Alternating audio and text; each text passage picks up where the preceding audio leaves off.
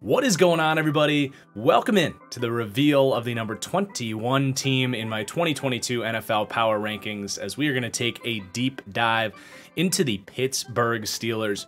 Before we get started though, if you could just do me a huge favor, please do hit that like button down below. The last couple videos have had a drop in both like count and views, so I just want to remind you guys, it really does help. These videos take me 16 plus hours each. A lot of sweat and effort goes into these videos. So it's important to me that they do well and you hitting that like button goes a long way to support the channel. If you do want to show your support in other ways, that PayPal link is down there below. Also, my Patreon is always available for you to support the channel and get uh, exclusive content as well. And if you enjoyed the video, make sure you subscribe, turn on notifications so you do not miss any of these deep dive team previews as we count down to the number one team in these power rankings. But without further ado, let's talk about the Steelers. And they did it again last year, man. They kept Mike Tomlin's record of in 15 seasons no losing record as a head coach, which to me is maybe the most impressive standing record in the NFL right now. And they had to do it by winning ugly, scratching and clawing with a basically rotten Big Ben that could hardly throw a football anymore. It was an impressive season, but uh, let's face it, they've got the odds stacked against them again this year as the AFC is just locked and absolutely loaded this year. And they have a new quarterback situation among some other deficiencies on this team. But it's also hard to kind of bet against these Steelers at the same time as they've proved us time and time again. So it's going to be a fun one. Let's talk about this team's offseason that I do think was a, a pretty good one. As we start with their key departures, we are going to witness some staff changes, though I think it's pretty minor and potentially even an upgrade. Keith Butler, 66 years old, is going to retire here. Seven years as the defensive coordinator for the Steelers did obviously a damn good job, but this Steelers staff is a machine, especially when you want to talk about churning out defensive minds. So they're promoting internally as they love to do with Teryl Austin. And they're also bringing in Brian Flores, the former head coach of the Dolphins, who we just talked about a decent amount, having the Dolphins deep dive coming in with our last episode here. So, you know, Teryl Austin's no slouch, and you add Brian Flores into the mix there, like, I think that's probably a net positive. And that's no disrespect to Keith Butler, who did a freaking amazing job. Uh, they're also losing their quarterback, Big Ben, to retirement pretty safe to say that's likely to be addition by subtraction. Was one of the worst quarterbacks in the entire NFL last year, was hard to watch at times. They're also losing some bigger named players, but guys that were actually injured last year and were not factors so much in their winning season last year. So Juju Smith-Schuster, Stephon Tuitt as well, retires, but he didn't play a single snap for them last year. I don't think a lot of people realize that, to be honest. Uh, then they're also going to be losing Trey Turner, who was a one-year band-aid at right guard, but doing a good job to supplement that uh, for me by getting a better player in James Daniels. They lose Joe Schobert, replacing him with a better former Jags linebacker in Myles Jack. Joe Haden, a veteran, no longer on the team. They signed Levi Wallace, who's been a, a starter for years in Buffalo. To me, an upgrade there. So every departure they had, I think they supplemented it with an upgrade and then some. So in the draft, they go and get Kenny Pickett in the first round, who we'll talk about shortly, along with Mitch Trubisky, former starter for the Bears, who took a rehab year in Buffalo, if you will. They also draft George Pickens and sign Mason Cole on the offense, who did start a few games for the Vikings last year, going to compete for center for the Steelers team. And then on defense, they add Larry Ogunjobi after Tuitt retires. They get Tyson Alualu back, who got hurt in week two last year for the season. And a sneaky good signing at a safety position of need for this team in Damontae Kazee, who's been a little bit of an underrated player over the last few years, was in Dallas last year, uh, Atlanta before that. So a pretty kind of sneaky good offseason for the Steelers when I sat down to put this sheet together, I was like, wow, that was actually a pretty nice offseason for the Steelers. Not a surprise. This front office is perennially great, uh, but not a team a lot of people are talking about right now. A team that was a playoff team last year that I do think is a better team this year. It's just going to be a matter of schedule and depth in the conference as far as if they can you know, keep Mike Tomlin's incredible record of never having a losing season alive, honestly. And, and we'll talk about that at the end of this video, what my expectations are for this team. But I want to talk a little bit more about the coach and what the scheme is going to look like on both sides of the ball here. Then we're going to go deep into this roster, preview every position group, how they stack up against the rest of the league. Then we'll do my win projection stuff. But let's talk about the coach and the scheme here, starting up top with Mike Tomlin who I rank as the eighth best coach in the NFL. We've already mentioned that record that he's got going, which is is just so freaking impressive to never have a losing season in 15 years. Like usually something crazy happens where you just you lose you have a bad year, even when you're a great coach like like Mike Tomlin. So uh, we we know that he is going to defy the odds and as the sort of CEO of this team, he just raises the floor because the expectations are high. He inspires these guys to play their ass off. Uh, it really motivates player development and, and everything that establishes, to me, one of the best cultures of, of any team in the NFL. So, a ringing endorsement of Mike Tomlin.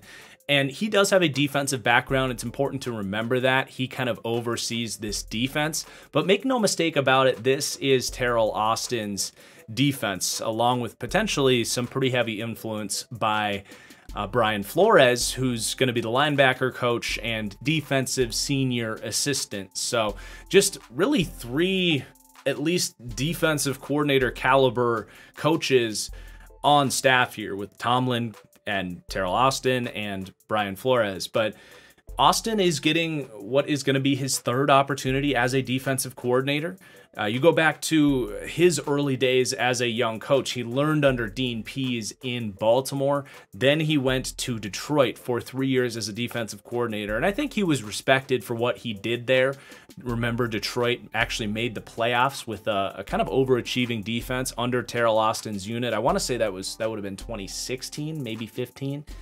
Um, but Caldwell eventually gets fired, and Teryl Austin with him goes to Cincinnati, where kind of everybody was going to die at that point in time. That was pre Joe Burrow era.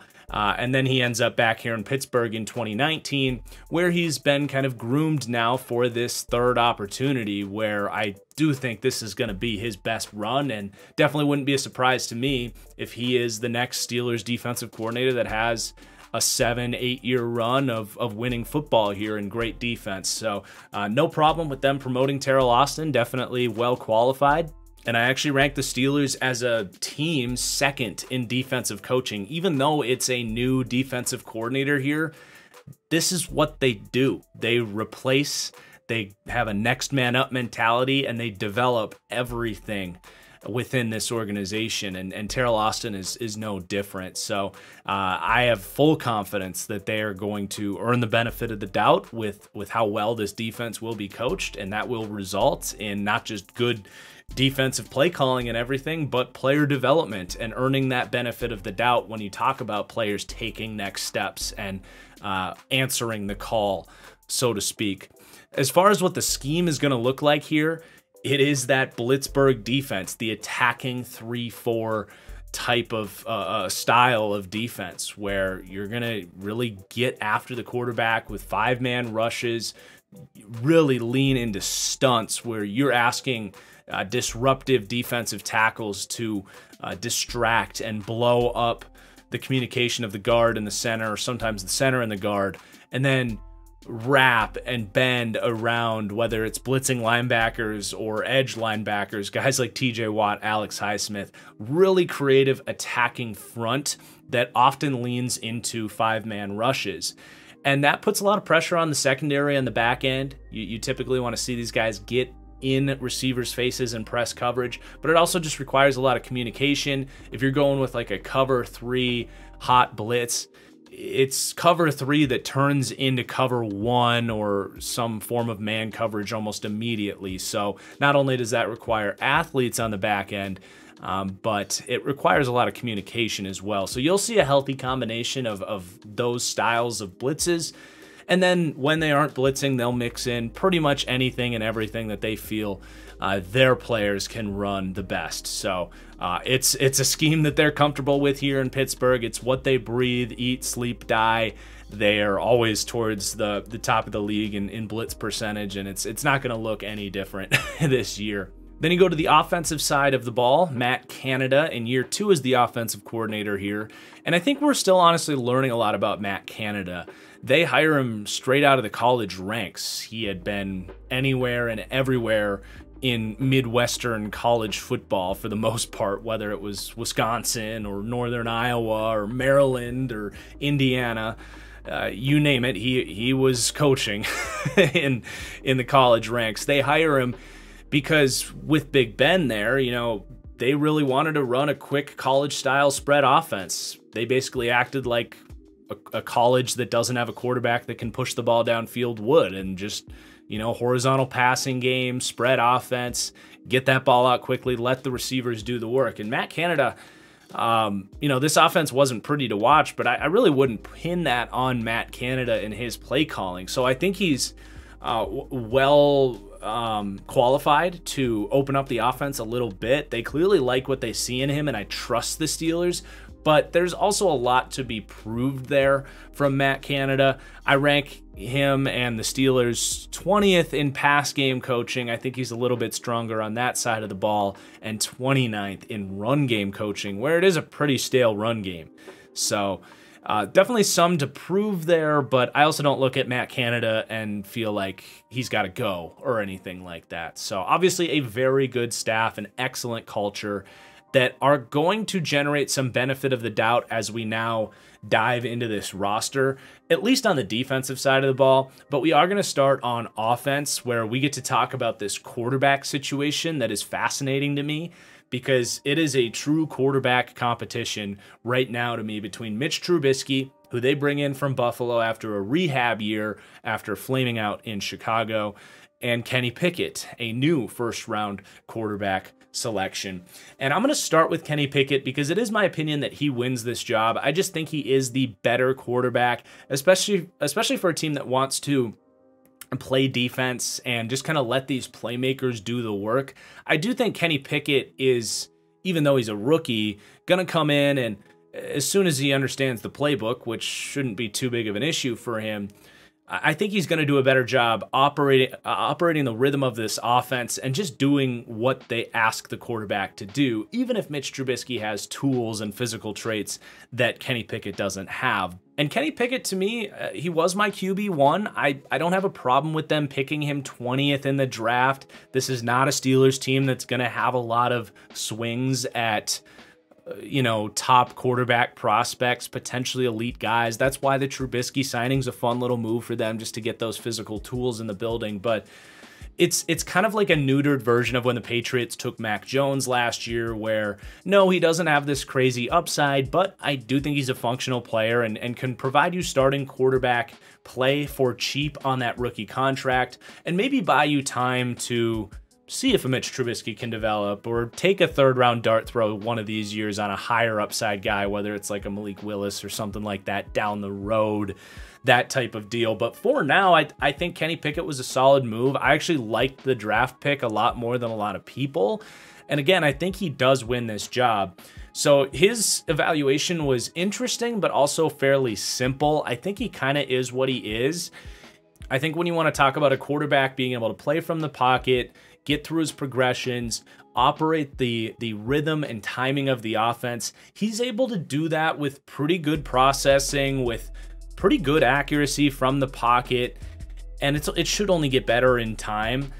The one thing with Kenny Pickett though that really bothers you is after about two two and a half seconds, he's gonna run. He is not a, a full on first read quarterback because you'll see him get that head around to his second read and get through his progressions, but he does have a clock in the back of his head where he's like, okay, the pass rush is coming and it's going to get to me and I got to go. And he's good outside of structure. He's really instinctive as far as kind of, um, he doesn't have a great arm, which I'll talk about, but he does have just kind of natural balance in his throwing ability on the run and good accuracy when throwing on the run. So that paired with good field vision when he's on the move and good athleticism, he's going to make some plays out of structure and and certainly more than Big Ben was able to do for them last year and the last couple of years. So it's a nice addition there, but it is also kind of a detractor from him as far as his upside as a passer because he doesn't have that natural poise in the pocket the elite quarterbacks, for the most part,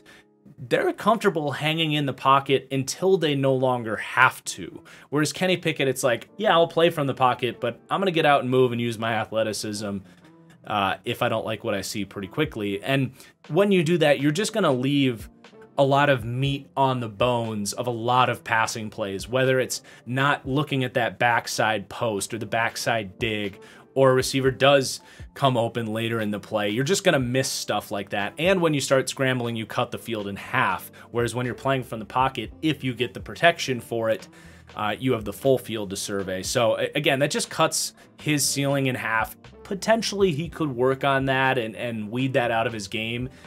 That's one area that I really do believe sometimes it gets worse when you play behind bad pass protection, but I don't typically see that get better at the next level as far as actually being comfortable inside the pocket. It might be possible, but I definitely think that's unlikely. He's also a little bit limited in his arm talent. I don't think he's got a noodle, but it's just it's just an average NFL arm. He he can make throws down the field, but you're not going to be seeing, you know, what these top quarterbacks are doing and dropping dimes way way down the field consistently at the next level. So that that sort of um, available field in the passing game is, is going to be shrunk compared to some of the elite quarterbacks. But for the most part, I do think a solid quarterback prospect. He was my QB1, so it was fun to see him come off the board, you know, kind of around where I would have taken him. I, I honestly think if I'm the Steelers, that might have even been the pick I actually made. Either him or Malik Willis swing for the upside, but I, I can see a path where they're a playoff team this year with Kenny Pickett a guy like Malik Willis and Mitch Trubisky, you don't really have that floor. So I understand the process. And then you got Mitch Trubisky, who I'm not going to write off as being the day one starter for this team.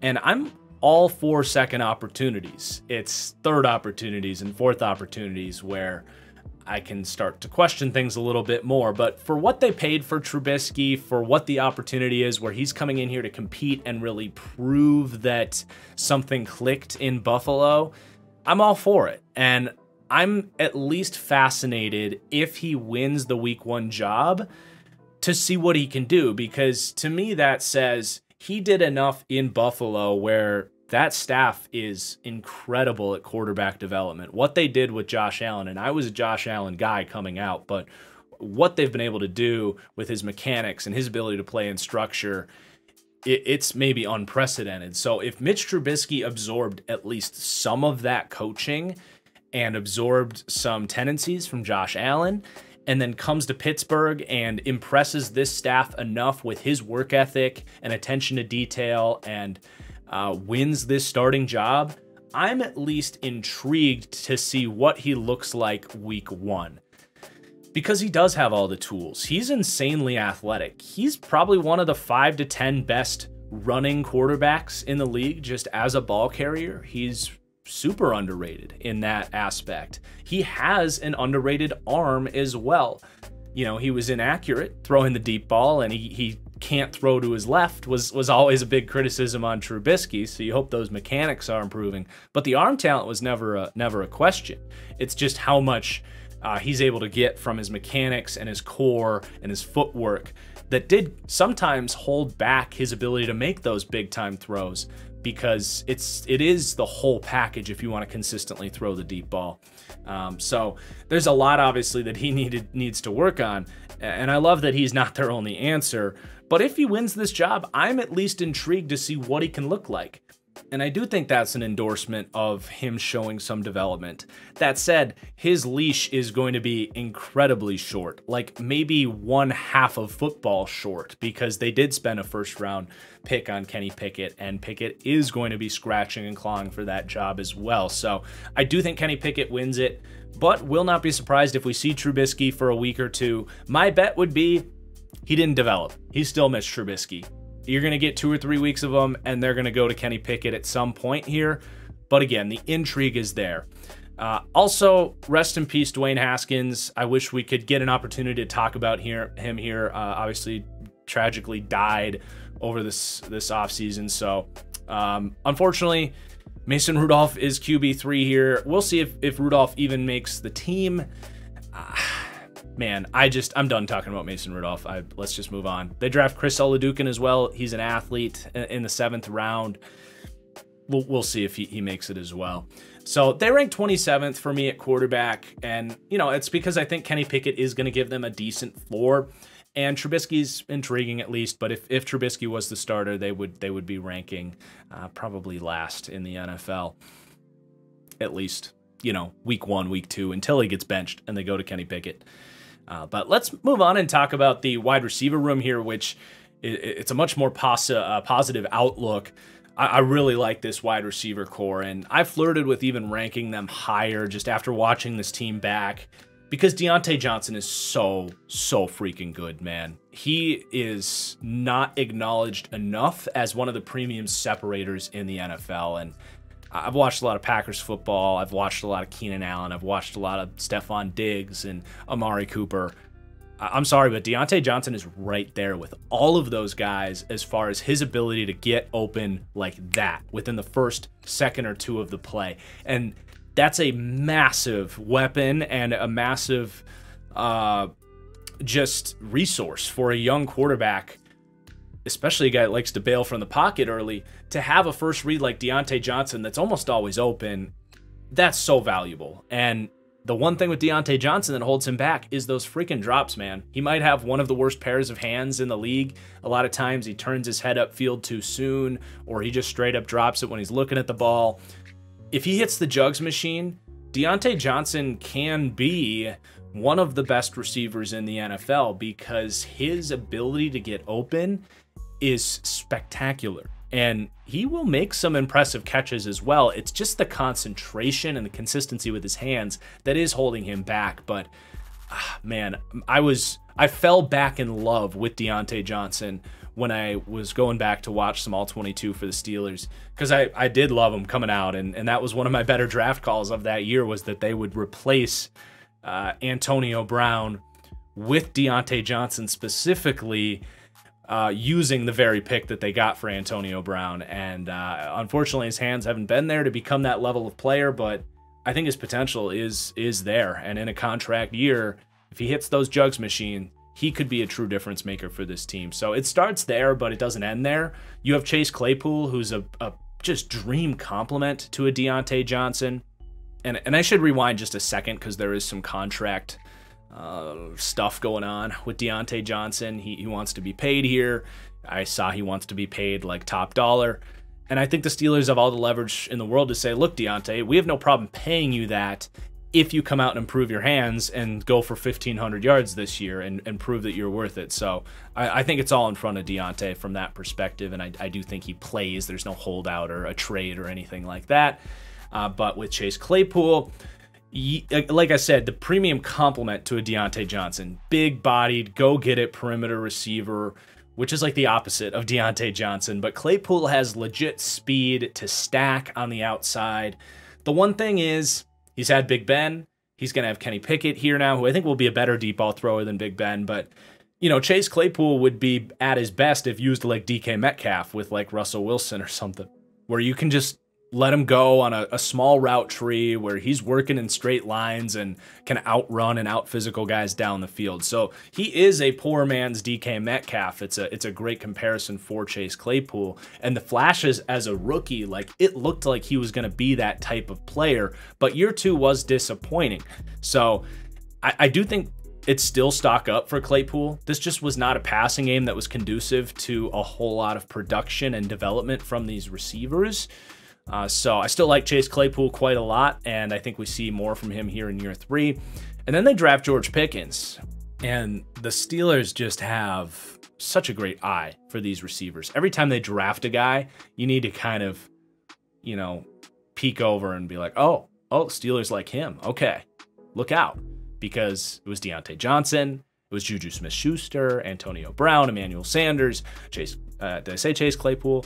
Uh, now George Pickens. Like, when the Steelers draft a receiver in the second and third round, he hits. And I already liked George Pickens as someone that, if he played his full final season, probably gets into the mix with that, you know, wide receiver one conversation, honestly, with with guys like uh, Olave and, and Wilson and Williams and all, all these guys. I, I do think George Pickens, if he played and had the right quarterback play like those guys did, you would have seen him prove to be that true X wide receiver and someone worthy of a first round pick. He doesn't play. Uh, there's reported off-field questions with him. Nothing new for the Steelers. They they kind of like their head cases at wide receiver, and they don't have any issue with that. I'm not I'm not saying George Pickens is a head case. I have no idea where those reports came from. I don't know anything about it, but that is supposedly why he may have fallen a little bit in the draft. Just a heads up on that. Um, I, I think he's going to be a stud. Is he going to produce at a crazy level as a rookie? I, you know, I, I said no on Chase Claypool. I said no on Juju, so I wouldn't be stunned. But there's only so many targets to go around here. I, I do think when he plays, he's going to be a good perimeter receiver because Diontae will play in the slot in 11 personnel quite a bit. So he can win on the outside. He's a great run blocker. And he will be an asset for this team who I think gets better as the year goes on. I just, you know, if you want to talk about fantasy football, I don't know if it's all going to be there in year one. And if they do end up letting Diontae Johnson go and they really like what they see from George Pickens, you might have a bit of a seamless replacement to still have a damn good receiving corps here, even if you have to lose Diontae Johnson. So, really like the three wide receivers there, but all three of them, kind of in their own right, have a little bit to prove, I would say. Uh, the depth at wide receiver, they signed Miles Boykin, blocking specialist for sure. I will say, like, Steelers fans will like this at least the Ravens are not an offense designed to let wide receivers thrive. They just aren't. They run the ball a crap ton. They focus on passing over the middle of the field. And let's face it, Lamar is not a great, accurate passer deep and outside the numbers. So a guy like Miles Boykin, who's kind of just a uh, go get it, deep ball guy, work the sidelines. It's just it's never going to be there in in Baltimore. So he gets claimed here, and I just I will say keep an eye on Miles Boykin. The opportunity's not really going to be there, but I think he can still have a good career ahead of him. This guy's a great athlete who looked pretty good as a rookie, uh, who just never really produced beyond that. And then they draft Calvin Austin in the mid rounds, and another really interesting Steelers pick. And I look at uh, a player they lost last year who actually played like 500 snaps for them in Ray Ray McCloud and I'm all of a sudden reminded, like, oh yeah, that makes a ton of sense. He's their Ray Ray McCloud. I I really like Calvin Austin. I think as that sort of gimmick player like a Ray Ray McCloud, he can plug in seamlessly as a fourth wide receiver, someone that they will kind of rotate in and out certain play calls, certain packages, just to kind of keep the defense on it. Um, but Calvin also uh, has a really uh, functional skill set as a deep receiver. He is short. He's only five seven, I believe. But his release package, his hands, and his ball tracking ability deep down the field, paired, of course, with his legit 4 3 speed, it's real. So the opportunity, again, for him to play that role isn't really going to be there. But I think he can be used creatively in, in you know, maybe 200 snaps or so uh, be that kind of gimmick threat and just kind of hang around here and, and maybe eventually earn an opportunity. But uh, just to kind of why not pick at that point to provide even more wide receiver depth. Beyond those five, you got Gunnar Olszewski, who can be a return man and compete in that role with Calvin Austin, uh, but, you know, a wide receiver six type, along with Anthony Miller, uh, who I have an inside source just says the dude is like a coach's nightmare, just doesn't know the playbook and doesn't really want it. Really talented dude, second round pick for the Bears years ago. Knows Mitch Trubisky, but uh, that's about the only thing he's got working for him right now. Uh, Steven Sims has started games in the slot for Washington. Uh, Tyler Vaughns, Tyler Snead, Cody White, I guess maybe have a chance, but uh, that wide receiver six spot's going to have a hard time seeing the field either way. Then at tight end, Pat Freiermuth, breakout rookie season. And I was trying to tell you guys, for those that follow the draft analysis, this dude's a first round player. Jags fans hated me when I mocked them Pat Freiermuth like every single mock draft at like the 25th pick when they ended up taking Travis Etienne he was overshadowed by Kyle Pitts, who's maybe the best tight end prospect we've ever seen. But I mean, Freiermuth's the whole package. He had every sign that he was capable of this right away. Battled some injuries and bad quarterback play in his final year at Penn State, but the size is there. The athleticism, absolutely there. The hands, the toughness after the catch, the blocking. It's it's all there with Pat Freiermuth that always has been. And he was a total steal when they got him in the second round. He comes in, Ebron gets hurt, and Pat Freiermuth never looked back. He got better as the year went on, so he's trending up. I fully believe Pat Freiermuth can ascend to that level of, of maybe someday getting in conversations with someone like Mark Andrews in this division when we debate like who's the best tight end in football. I, do think that highly of Pat Freiermuth obviously has a long ways to go and is going to need a situation conducive to his success like Mark Andrews has had in Baltimore. But man, there's nothing he can't do. There's there's no ceiling he can't reach. And his floor is pretty damn good right now, too. So, a, a true stock up player in Pat Freiermuth. Behind him, you're definitely not excited. You have Zach Gentry, who's just kind of a big body, almost space eater of a tight end, throws his body around as a blocker, a six foot eight target with strong hands, but nothing you're excited about. Behind him, they draft Connor Heyward, who's going to be kind of an H-back, fullback hybrid type. Uh, Steelers fans are saying they're going to keep him and Derek Watt, which is interesting because I see them both as fullback types. But uh, Heyward is Casey Hayward, uh, not Casey Hayward. He's um, Cam Heyward's brother, who's obviously a star defensive tackle for this team. Kevin Rader got on the field last year, not much there. And then Jace Sternberger, uh, if he can put it together off the field, he also has a lot of physical talent. So I guess keep an eye there, but probably nothing beyond Pat Freiermuth. And then at running back, it's Najee Harris or bust. And I do believe Najee got the most snaps out of any running back last year. Had over a thousand. And I don't think any back had over a thousand snaps last year. So uh, you obviously hope he can hold up with that much workload, but um, he is so big that I'm not terribly worried about it, at least as he's young here.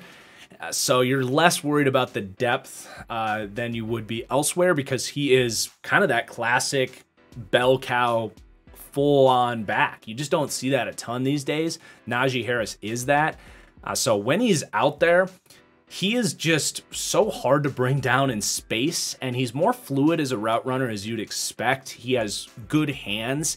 He had his ups and downs as a pass catcher last year, but I definitely think he he can continue to to get better and, and become one of the best just full on three down backs in the league. I think he's already getting there. So uh, he's definitely a weapon, especially on checkdowns and screens which with everything else going around him, like he doesn't need to be some down the field running back threat either. So he's a good pass protector as well, and definitely a weapon. Behind him, not a whole lot worth talking about. You got Benny Snell, who I cannot believe they are going with as their backup running back again. One of the least explosive backs I've had to watch get significant playing time in in recent memory. So I'll just leave it at that. Uh, he's not good especially as a receiving back. Anthony McFarland, you hope can take that next step up. Was so promising coming out of Maryland, super explosive dude, but in two years it hasn't been there, and I want to see it. I know it's in there somewhere, but he's he's got to work at it and get that out of him. And then, man, Trey Edmunds, Jaylen Warren, Mataeo Durant. Seriously, it is it is Najee Harris or bust. And if something happened to Harris, this team's gonna have to make a move because you know, running backs don't matter and all that stuff, but it does matter when you got to go to Benny Snell and Trey Edmunds. So Uh, I like Harris, and that's it with the running backs. Overall, you end up with the 15th group of weapons and absolutely a group that I can see becoming a top 10 group within the year if the quarterback play is right and the work ethic is there with guys like Claypool. I mean, really everybody. Like, if everybody develops here, it's going to be one of the best groups of weapons in the entire league. The depth and physical talent is entirely there.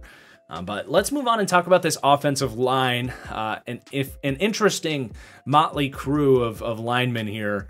And the Steelers have always earned the benefit of the doubt with with the offensive line, and uh, we tried to give it to them last year, and and in some respects, like they functioned, but a large part of that is they just got the ball out so quickly that we honestly, with a lot of these guys, we didn't get a full understanding of how much they could hold up in the drop back passing game. But there's certainly times where they didn't, and we knew that was going to happen. And the players here aren't too different. So I am certainly worried about this offensive line despite the Steelers being a team that earned that benefit of the doubt. They ranked 26th for me in pass blocking and even worse, 30th for run blocking, which we'll revisit all of this from a run blocking perspective. Right now, we're just previewing the passing game. So, from a pass block perspective, at left tackle, you have Dan Moore in year two. Definitely a player that got better as the year went on. Was stunned to see him earn a starting role. I thought he was a day three tackle prospect, and for him to be trotted out at left tackle, uh, the Steelers clearly saw something in him. They clearly like his mentality and work ethic to continue getting better, but it certainly was not um, perfect as as a rookie, and just all of it needs to improve there. Uh, certainly going to get some benefit of the, of the doubt with him, but I just don't know if he's got the talent to become that sort of franchise left tackle type of dude, and, and he certainly could be a problem for them you're not worried about Kevin Dotson at left guard. He's been a rock since the second he came into the league. He is a player that I was stunned was starting in his rookie season, but was just super good from the get go.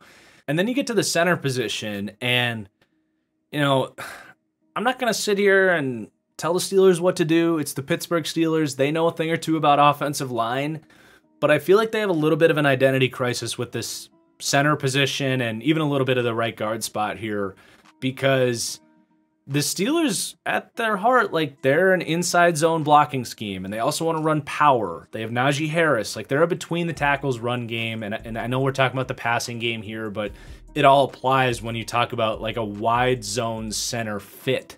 We talk a lot about these lighter athletes at center can play in a wide zone scheme much better because a lot of times it's play action, it's moving pockets, and you're not asked to just set set your feet and anchor in those offenses like you are a lot more of the time here with the Pittsburgh Steelers. So they bring in Mason Cole from Minnesota, who had who is a lighter guy, 295 pounds, had his best year for the Vikings last year. You have Kendrick Green, who I liked coming out, but I really liked as a wide zone scheme fit because he's a lighter dude, a great athlete, but not much of an anchor. JC Hassenauer, actually played okay for them last year, but again, 295 pounds, six foot two. Like, shouldn't they go out and get themselves like a big bodied 315 pound center that can maul dudes and run the scheme that they want to run? It just it doesn't make a ton of sense to me. Um, so I'm worried about that spot, and I think they're probably a little bit worried about it because right now Mason Cole is listed as their starter. We'll see if he ends up winning that job. I think it's pretty much a push especially in pass protection between all these guys. I think Hassenauer is the one that's played the best in, in pass pro in his NFL career. Kendrick Green's the one with the potential. And Mason Cole's probably the best run blocker of the three, but possibly the worst pass protector. So whoever ends up winning that job, uh, they'll protect him with double teams and stuff, but one on one, any of these guys are going to be a liability. Then you get to right guard. James Daniels, I, I, like James Daniels. Again, I think he's better in a wide zone scheme fit, and that's why I was surprised Chicago let him go. But he at least is a little bit more rocked up with a better anchor, uh, with with really good core balance and stuff. So I'm, I'm definitely not worried about James Daniels. I like that signing, and he might even have his best football ahead of him here, being coached by the Pittsburgh Steelers. And then at right tackle, Chukwuma Okorafor I can't believe they gave him a $30 million contract. And he certainly has not played like that. He's played just like an adequate starting caliber right tackle.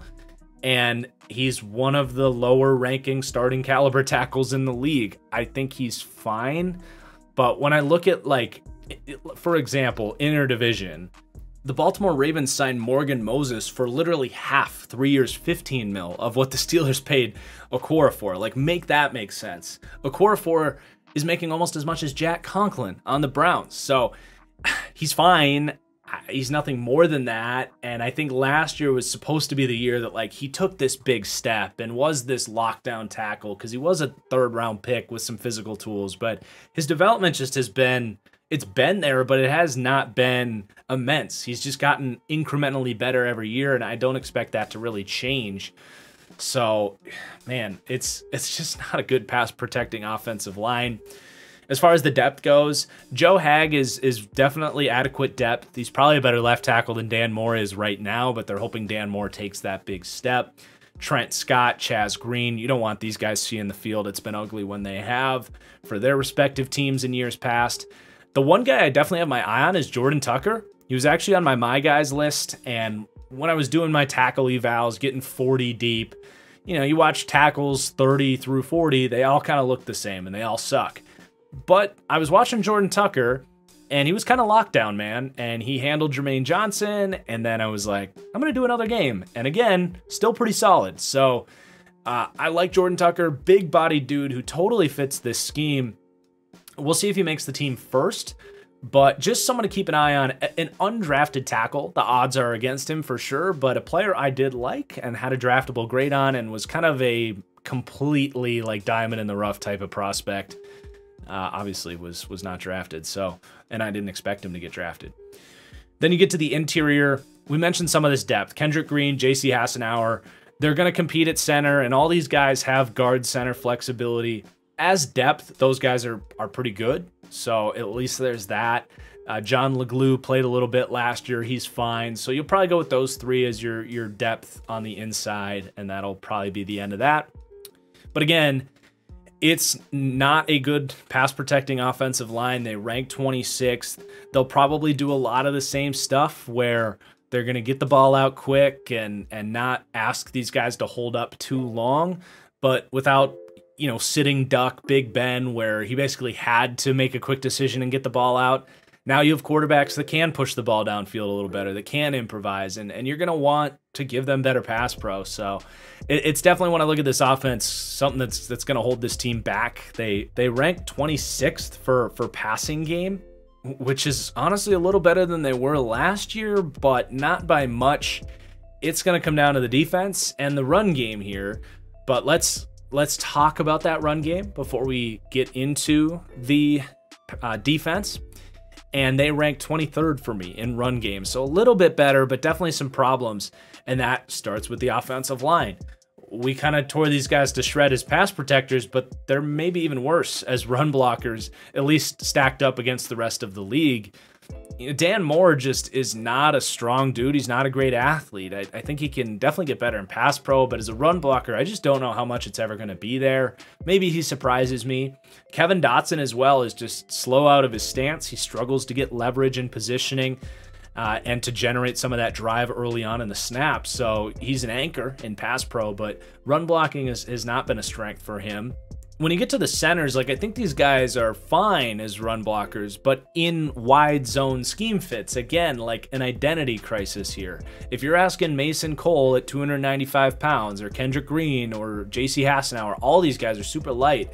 If you're asking them to come out and drive a nose tackle on inside zone, or down block a nose tackle on power, I'm worried about that. That's like a serious problem that was a problem for them last year and is a major reason this is one of the worst run blocking units in the league. Like they don't they run a scheme that demands um, pushing guys in the middle of the field backwards and they don't have a center that can do it. So it's just it's just weird to me. Uh, James Daniels, I, I, think, is, is going to be their best run blocker. Uh, he does fire out of his stance. He does have good play strength. Even though he's a great athlete and a good wide zone fit, I, I don't worry about him running power, pulling and pinning and all that stuff. Uh, not worried about that. And then Okorafor at right tackle just continues to be like balanced, adequate, decent technique, decent athlete, decent size, decent strength, but just no no true standout traits in any regard. And as far as the depth, there's no one coming in that you're like, oh yeah, they got better there because of an injury. So it's just there's not going to be a lot of lanes for Najee Harris. Um, there weren't last year, and that's well reflected in my my running back rankings here. I, I ranked them eighth. They'd be seventh if they had just a baseline backup because I think Benny Snell is that bad, uh, and he will get out there occasionally. Uh, but dude, I, I freaking love Najee Harris, and I think he is already one of the better running backs in the league. There's there's some top heavy guys, but with some of those guys getting up there in age, I think we'll feel pretty comfortable saying Najee Harris is a top five running back.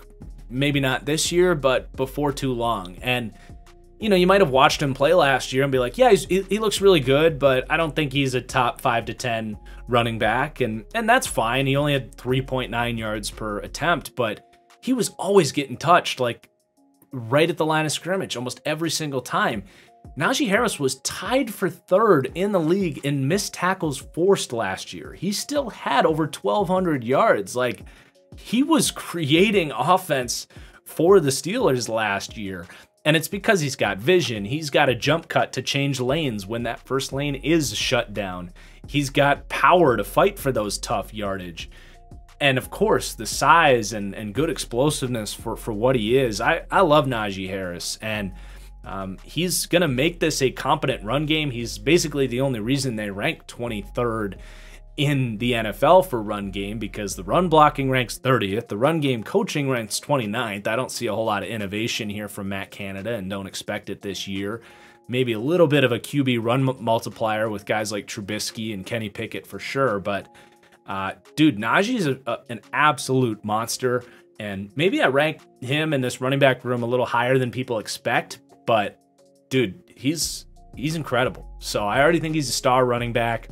But again, I I wish they had even just like put Melvin Gordon next to him or Sony Michel or like someone that can be a guy that can get five carries a game and not be the least on a, an on a or not be the least athletic running back out there, like possible. Benny Snell to me, I said it two years ago. I was like, dude, why is he getting all these carries? He's got no vision. He's got no explosiveness. He doesn't use his size to consistently run guys over. I I genuinely do not get it. I don't think he would be on most teams in the league, let alone their backup. So that's crazy to me and they don't have anybody else. Anthony McFarland has intrigue as a receiving back, but as a runner, maybe in a wide zone scheme fit would look better, but uh, no power or vision at all.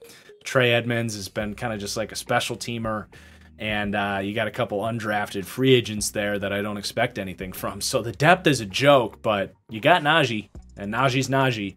As far as the rest of the skill player blocking and their contributions, it's certainly nothing special. Uh, you have a group of receivers that I, I just don't see any of these guys as standout run blockers other than Miles Boykin, who, when he's on the field, is maybe top three run blocker at receiver in the league. George Pickens was good at it at Georgia as well, so I think you're replacing some of that physicality as, as a run blocker that you had uh, in Juju, who's a really good run blocker as well. Um, and then at tight end, Pat Freiermuth, I actually was a little bit disappointed in, in his ability to sustain blocks as a rookie. I think there's definitely room for growth based on his strength and athleticism and physicality. I, I think they can get more out of him this year, but uh, wasn't great in his rookie year. Zach Gentry's a, a solid guy who uses those lengths, uh, uses that length, that six foot eight, to just kind of latch on and, and run his feet. So he's fine. Uh, you do have Derek Watt, who really took a step up last year as a mauling fullback. Uh, I think really kind of figured a lot of stuff out. And then they also draft Connor Heyward, who has been kind of just like a fullback, wingback type. And I'm very curious to see both how they utilize him. Do they keep him and Derek Watt? And then beyond that, how good is he going to be as a blocker at the next level? But he's definitely an interesting pick that could improve the skill player blocking here. That right now is just not anything special. So, again, the run game ranking 23rd, which is basically all Najee Harris. They do rank tied for 12th from that QB multiplier as well, because both Trubisky and Pickett are very good run threats. So that is something that'll that'll play a factor. Matt Canada, former college coach, is, is definitely not going to be afraid to lean into the read option. He, he obviously didn't do that with Big Ben, but it, it could become an interesting weapon for this, this run game that we got to keep an eye on. So overall, 26th for total offense. And they better hope they're 26th because if they get any worse than that, if these quarterbacks are worse than I'm projecting, if Najee goes down, like they're going to have a hard time moving the ball with this offensive line and, and some young quarterbacks. But uh, I do like the playmakers quite a bit. Let's move on, though, where it's going to get much, much more optimistic with this defense that uh, I'll just lead off with this. They're going to rank second in the NFL for overall defense. And it's what got them in the playoffs last year.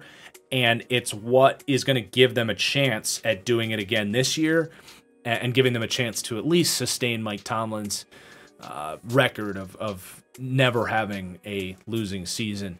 Uh, and of course, we already talked about the staff and, and why that's a major reason for it but there's some pretty serious talent on this team as well. Uh, so let's start with the pass defense, which is going to rank fifth, leading off with the pass rush, that to me is the third best pass rush in the NFL. And that, of course, is because you've got TJ Watt uh, to kick this whole thing off with the pass rush. They've got other pieces here that we'll talk about, but you know, you've got the defensive player of the year there. Now, I'm going to tick Steelers fans off just a little bit. I he would not have been my vote. It still would have been Aaron Donald. I think there are better edge rushers in the league. Uh, there might be one in this division, but um, you know, he was not the most productive pass rusher in the league last year. Yes, he broke the sack record, but a lot of that was cleanup stuff. A lot of it was unblocked stuff. A lot of it was um, stuff that they schemed him up with his unique skill set, where he's able to bend and wrap around and stunt and stuff. But um, I'm just gonna say it, man. I think there are better edge rushers in the league, and Steelers fans are gonna bully you into saying he's the best pass rushing, at least edge rusher in the league, and I don't think so. But he is an elite presence. I'm not like opposed to him winning Defensive Player of the Year. I just would have voted for Aaron Donald because he's a better defensive player and was more productive last year. I, I don't just look at sacks. Um, now, TJ Watt does a lot of stuff as well as far as deflecting passes and making splash plays in the run and dropping into coverage. Like, I get it. I do. I'm ranking them third for pass rush. I'm not sleeping on TJ Watt. I'm just not going to be bullied into saying he's the best edge rusher in the league because I don't believe that. But getting an elite grade from me on the edge, he amplifies everything here. And of course, he's productive in his own right. Uh, his just kind of dip and rip move and his bend and get off acceleration that's that's where he dominates, man. And and a lot of tackles just don't know how to handle it. Like they genuinely can't get the depth. And then you start seeing teams try to chip block him, and he's so natural at just kind of absorbing the contact from a chip block and uh, assessing the balance of the tackle. Because a lot of times a chip block can actually screw up the tackle and put you in a weird position. And TJ Watt is just so good at like identifying, okay, I got chipped. I'm gonna reset the tackle is now leaning inside because he out, had outside chip help. So quick little, you know, jab, step, rip, and you're around the corner, you're bending and you're strip sacking the quarterback. So, like, I do think teams need to just stop chip blocking him. I don't think it's productive. Um, but yeah, he he's incredible as a pass rusher, and they do so much creative stuff with him too. You have these disruptive interior rushers so you're able to, you know, slant the defensive tackle and then wrap TJ Watt around him unblocked. And you're able to uh, show him, like, you put him up there as that rush rush edge, and teams are going to adjust their protections to block him because you want to double team TJ Watt. But he's then drops into coverage and all of a sudden they forgot to block the blitzing middle linebacker on the other side. Like he just he he fucks up everything for for offensive lines. So um, you know, you do have to take into all that account. And when I say he's not the best edge rusher in the league, maybe his presence and everything that he does does make him the most valuable edge rusher in the league. I think you, could make that argument basically, but uh, it, it, let's move on beyond what you have in TJ Watt because I don't think they would rank third with just TJ Watt, but they've got really functional, good players next to him as well. And uh, Alex Highsmith on the other side is a baby version of TJ Watt. And, you know, that's a overused term, but it really is accurate with Alex Highsmith. He looks similar. He's got that kind of janky hybrid linebacker build where he's stocky, but he's so quick and bendy. Uh, and he wins in similar ways as well. Like he goes to that same rip move. Like TJ has clearly said, like, if you get this leverage, just do this. Just dip and bend and you'll get home. But he also mixes in a spin move and an inside counter. Like he is super similar to TJ Watt. And what I really like about Alex Highsmith is he really, to me, added an element of power to his game last year, improved as a run defender, improved with the occasional ability to to go to a bull rush. And um, it's it's trending up, I do believe, with Alex Highsmith. And that just opens up the scheme even more because you can do that same stunt work that we mentioned with TJ Watt. You can do that on the other side with Alex Highsmith. And now you've got uh, Brian Flores coming in, who's like the ultimate hybrid linebacker coach. He's coming in, and you're going to see them just do crazy shit with Alex Highsmith, TJ Watt, dropping into coverage one play, wrapping on a blitz the next, straight up rush the play after that. These guys are just such a chess piece nightmare for this defense. And they're allowed to do that because they have such a good interior defensive line. So you got Cameron Heyward, who is, I would say, a top 10 pass rushing defensive tackle, overall, a top three to five defensive tackle.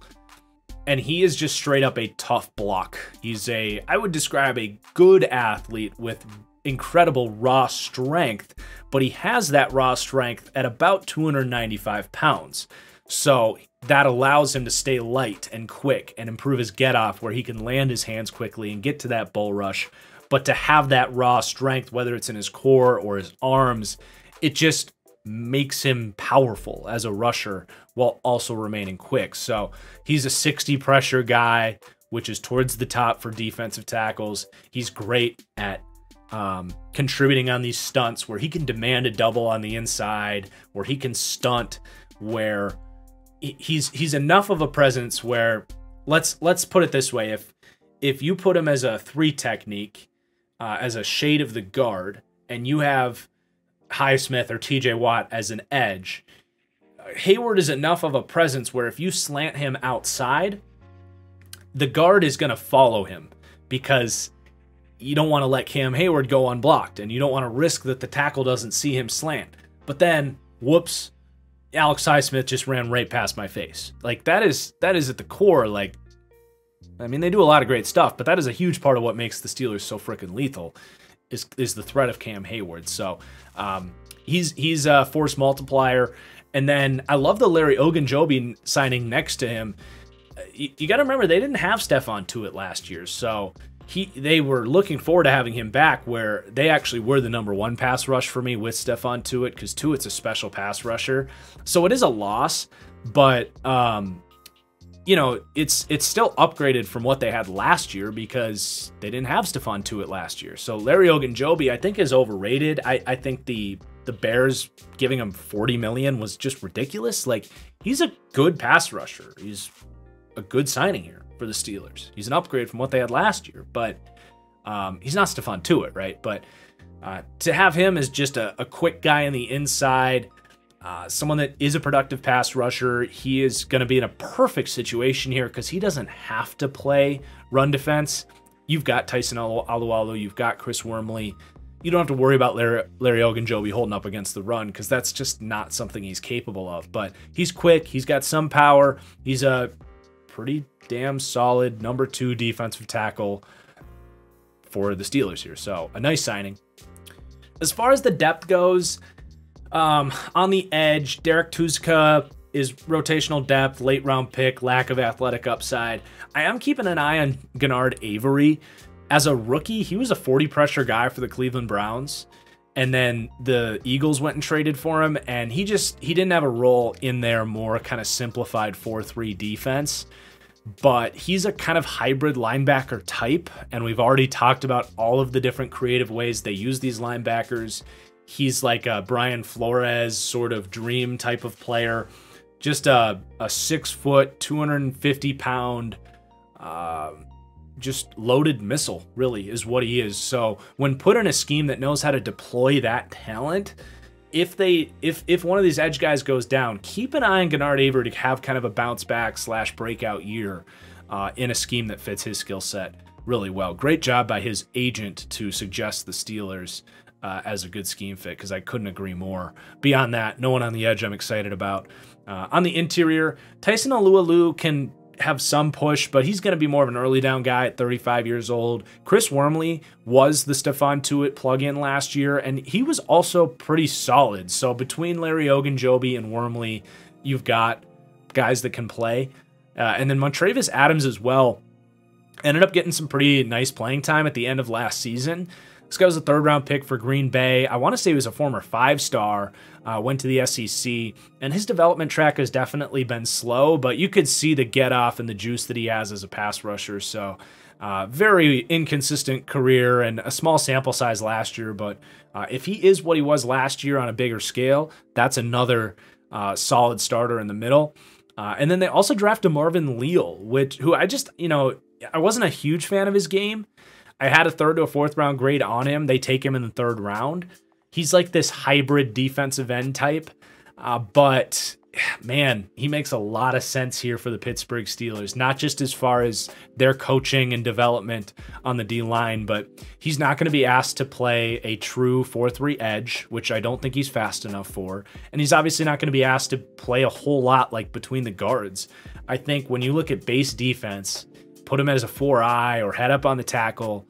I actually think on this defense, he has a good role there. And a player that he kind of reminded me of was Emmanuel Ogbah. I didn't put it as my pro comp because that's pretty high praise at this point.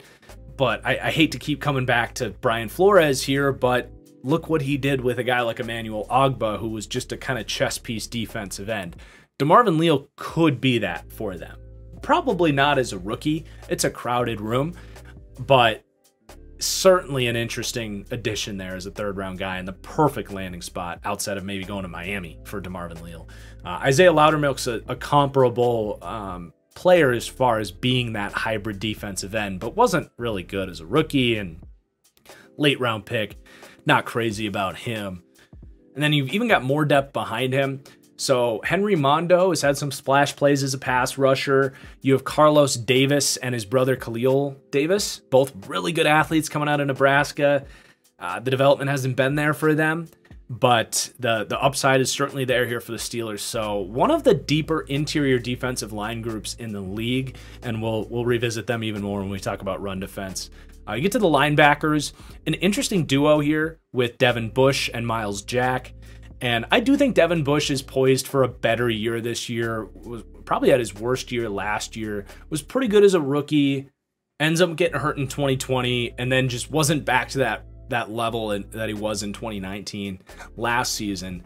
But uh, you know, a, a fresh new year, new staff. I I have higher expectations from him, at least from a coverage perspective, because he is so fast and he does have those instincts, especially to man guys up out of the backfield. He's got a good mentor in Myles Jack next to him. So I I do think he's a better player this year after a down year last year. Still definitely concerned about his size and his run defense, but uh, just from a coverage perspective, I think he's going to be better. But I'm also not buying him as like a star linebacker either.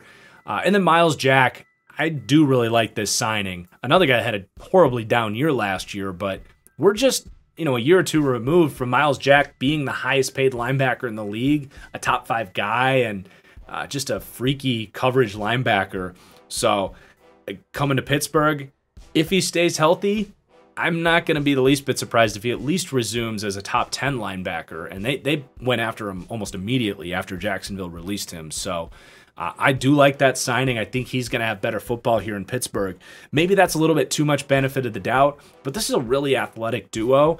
I rank them 14th for linebacker coverage, and I think they can get back into the top 10. Uh, both these guys kind of bounce back. As far as the depth, Robert Spillane's a good backup to have, just not a great athlete. Buddy Johnson, a mid round pick last year, so he's got to develop. Marcus Allen's kind of a safety linebacker hybrid. We'll see if he makes the team, along with Ulysses Gilbert, who's played decent in pinches They also draft Mark Robinson in the seventh round, so okay depth. Then the secondary, I actually ended up liking this secondary a lot more the more and more I watched this team and the more I thought about this team. Because before I prepped this video, I, I was like, man, the Steelers don't have any corners, do they? And then I put this together and they do. They have three corners that are all solid starters. You've got Levi Wallace coming in, who I think is an upgrade from what they had in Joe Haden last year, because Joe Haden just couldn't move anymore. Levi Wallace, you know, they they wanted more in Buffalo than what Levi Wallace was, but he hasn't been a liability for Buffalo. He's a very solid number two corner. And then you have Ahkello Witherspoon, who has done nothing but play incredible football when he's been on the field the last two years. He gets on the field late for the 49ers in 2020, finished with an outstanding four or five game stretch. The Seahawks sign him, for some reason, trade him to Pittsburgh, and then has a hard time staying healthy last year. Uh, played nine games, but was their best corner and was had no issues in coverage. Really was I don't want to say lockdown, but he was damn good. So if he's healthy and and they they keep him around here, I think he's actually a stock up guy that they believe in for good reason. He was a raw prospect coming out, but has all of the length and speed and and quickness that if paired with more technique and, and better zone IQ, like there's no reason he can't be a good starting corner for them. So I actually look at that duo and, and it's better than than I thought I was going to think about these guys coming in. And Cameron Sutton popped to me rewatching the Steelers. He certainly had his weeks where teams were were picking on him a little bit. He's not the fastest dude, so I don't think he's ever going to be some lockdown corner, and that's why he's more of a slot guy. Uh, but they had they had to ask him to play outside, and he held up to me, he shows a ton of toughness and a lot of zone IQ. He's a really quick dude. He's a former third round pick, so he's not some slouch of an athlete. He does have really nice quickness. It's just that long speed, but in the slot, you can protect that. So uh, I actually think being asked to be a full on slot corner for them with a more stable perimeter corner duo there, you could actually see a, a breakout year from Cam Sutton uh, now heading into a contract year. And you also got to keep in mind, like they they gave him a two year extension. Last year was the first year of it uh, because they felt he can be the Mike Hilton replacement. And I think they're right. He just was forced into a tough situation last year with all the injuries they had in the secondary. And he ended up playing about 80% of his snaps on the outside. That's not his game, right? So putting him back in the slot, doing what they expected him to do when they gave him that extension, they let they let Mike Hilton go as one of the better slot corners. Um, I think he's poised for better things this year. Uh, so maybe a little bit of benefit of the doubt there and, and a optimistic projection with guys like Witherspoon and Sutton, but I do think these guys are are getting the faith of this staff that like if I'm going to trust anybody, it's it's pretty much either Bill Belichick or this staff. And they're going with these guys because there's not really a lot of depth here that's going to push these guys. These are their starters. You have James Pierre, who would be the first man in, played okay as a perimeter corner, but uh, what was he, seventh round pick, undrafted guy, just doesn't have the athleticism to consistently hold up as a perimeter corner. Uh, you have Tre Norwood and Arthur Maulet, our slot hybrid safety types, really physical run defenders, but liabilities in coverage. And then Justin Lane is still here, third round pick with theoretical length and speed. Uh, maybe someday we would have, you know, years ago we would have said similar things about Ahkello Witherspoon, but Witherspoon has developed, whereas Justin Lane has not. Uh, so it's not crazy depth by any stretch of the imagination. But then at safety, you got Minkah, who's I, am just gonna leave it as a top 10 safety. I'm actually not a big fan of his run defense, which if you want to talk about total safety rankings, I, I think you, you got to factor that in. Definitely has range and ball hawking ability as free safety, and he'll make those splash plays, but uh, he has been out of position. He has not been some crazy elite coverage free safety. Still damn, damn good, and could have better football ahead of him uh, with with better talent around him in the secondary not trying to shred Minkah Fitzpatrick. I I think he's a star safety. I'm just saying, like, you consistently see him ranked as the second or the third best safety in the league. You pretty consistently see him ranked ahead of Jessie Bates if you talk about this division. And I just want to put it out there that I I don't think he's quite on that level. But uh, it does not mean he's a slouch or anything close to it in coverage. So you got him patrolling the middle of the field and just kind of taking stuff away. They love to go to cover one and cover three, and he'll he'll jump stuff and take those risks and help take the ball away. So you love that. Uh, and then the the Steelers definitely have a true like free safety, strong safety relationship, but it really depends on scheme. Uh, not a lot of teams though always have this where it's like, yep, Minkah's your cover guy, and Terrell Edmunds, if he gives you anything in coverage, that's great, but we're going to protect him, man him up on tight ends and running backs, and keep him in short zones, and not really ask him to play deep too much. But sometimes they get caught in a bind, they'll motion, and Terrell Edmunds has to rotate high, and he gets put in a compromising situation. Like, it's just not his game. He's more of a linebacker than he is a safety. Um, so they'll protect him, but man, he's just not a good cover safety. They let him test the market for a reason. They end up bringing him back because they do trust his run defense. He's one of the better tackling safeties in the league.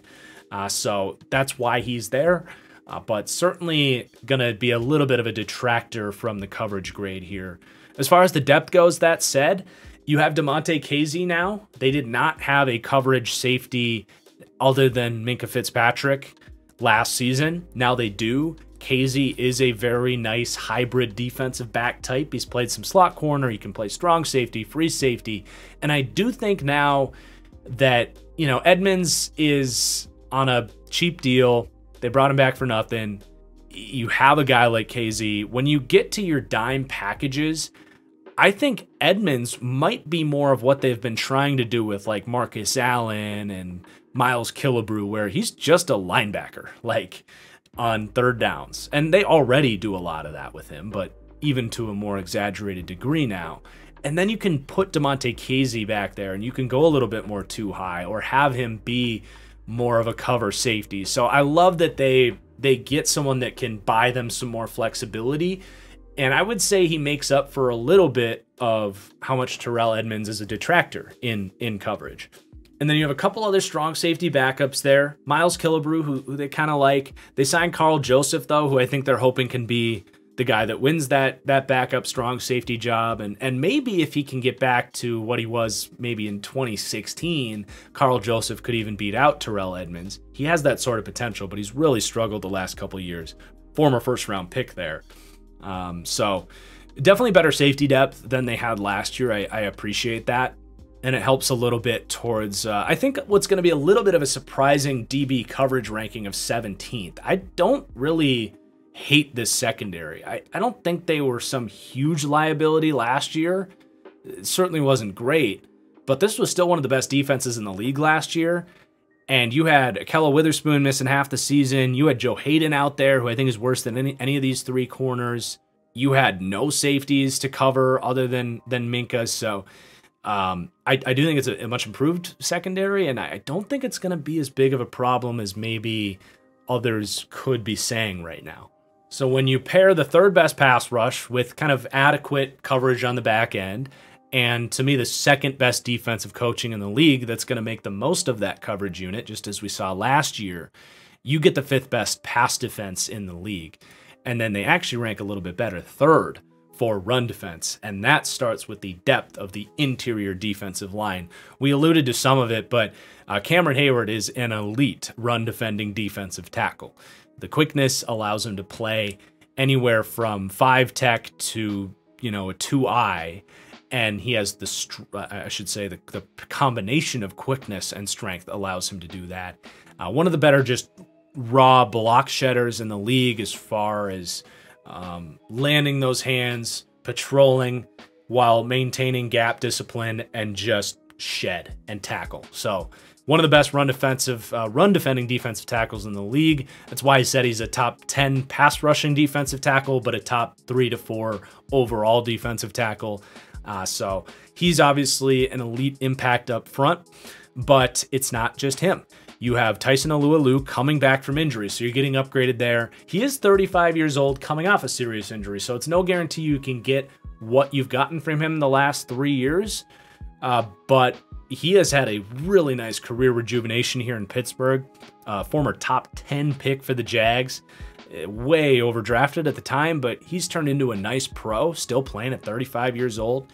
Uh, so, an underrated player if he can get back healthy. If not, I'm not too worried. You have Chris Wormley, who stepped in to this role and had to play a lot last year. He had to play kind of a little bit of Tuitt's role and a little bit of Tyson Alualu's role, and he held up just fine. So you have three deep of solid starters. And then at least Ogunjobi and Montravius Adams, these guys have been asked to defend the, the run a lot, and they have aspects of athleticism and strength. They just have they're um, guys that'll get moved off the ball, and they don't really have that discipline ability. But uh, as third and fourth defensive tackles, you could do a hell of a lot worse. I think DeMarvin Leal, Isaiah Loudermilk will play a role as run defenders as well as kind of hybrid defensive end types. And then we alluded to some of the other defensive tackle depth with like the Davis brothers that have a certain element of potential as well. It's a really nice defensive tackle group, especially against the run. And then on the edge, they do lean to be a little bit lighter, guys that can get moved off the ball and locked into blocks. So that applies both to TJ Watt and Alex Highsmith. That said, uh, TJ Watt is just constantly looking to um, bend in and out of incoming blockers. He can hold his own, even though he's a lighter guy. But again, he, he will get moved by offensive tackles. It just is what it is. He's not the most powerful guy in the world. Um, but just so instinctive. He makes those splash plays. I think he's a stud run defender where he's an elite pass rusher. And then Alex Highsmith does a lot of that similar stuff that TJ Watt does as far as um, sidestepping and, and bending in and around incoming blockers. Showed some good instincts last year, good pursuit suit speed to contain the edge as well on outside zone. And Highsmith is really beefed up to the point where I think he can hold his own just like TJ Watt can. So uh, it's definitely a good duo of edge edge run defenders. You got a rotational guy in Derrek Tuszka who does some of that similar stuff, and then not a whole lot on the edge beyond that. But uh, the presence of Cam Heyward, Tyson Alualu, uh, an athletic edge duo to, to warp warp in and around that, uh, it gives you the second best D line run defense in the league. And then when you get to the second level, pretty similar analysis with these guys. Like I think both Devin Bush and Myles Jack will play better here in Pittsburgh. Both guys have shown to be better than they were last season, uh, but do need to prove it. So they rank 16th for D uh, linebacker run defense. Myles Jack has the size to do it and has been at a point in time one of the better run defending linebackers in the league. But uh, again, just I don't know if it, his heart wasn't in it or it was a coaching deal or what last year, but uh, was kind of washed out against the run. And Devin Bush does lack that size. I, I, don't think he's a good run defender by any stretch of the imagination, but with open run lanes, as he's going to have here, with Myles Jack being more of the block eater, his just run and chase tackling ability is a really nice asset. So uh, I think, again, that can lead to some better run defense this year. Then you get to the secondary. I'm not worried about what they're getting from the slot. I think Cam Sutton, Tre Norwood, Arthur Maulet, all these guys are super physical, quick dudes uh, that can that can hold their own in slot run defense when asked to do it.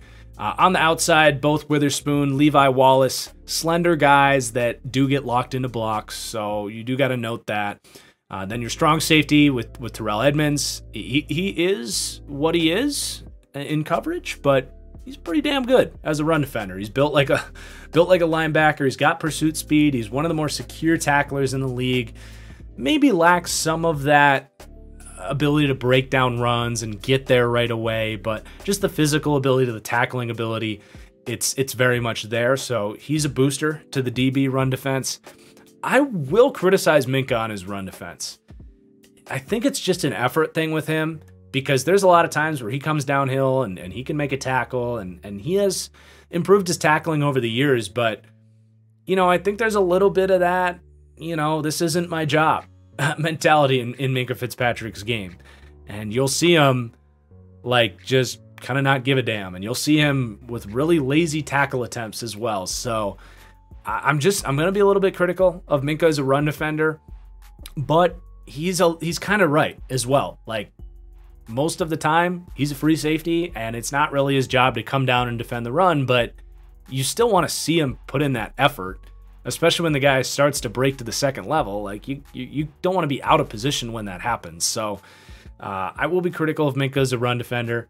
And then you also got to note Karl Joseph. If anything happens to Terrell Edmunds, you got a pretty solid backup there. So uh, your run defense is going to rank third in the league. Of course, the defensive coaching, again, being an amplifier to this because when you have a Cameron Heyward up front, you're able to basically put everyone else in a defined role. Just say, play with good discipline, do your job, and you're going to shut down the run. And that is what the Pittsburgh Steelers have consistently done. So, third for total run defense. And that ends up giving you the second best defense in the NFL. I don't think that's a stretch at all. Uh, they, to me, were one of the three or five best defenses last year.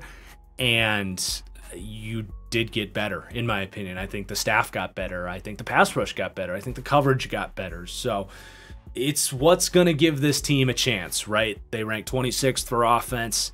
You're hoping they can take care of the ball, have a decent run game, have these receivers make plays for you, get you 17 to 21 points a week, and play dominant defense. And is that going to be enough in this AFC? Well, let's take a look at their schedule. Their over under is seven wins. So that right there tells you people aren't believing them and their schedule's pretty tough.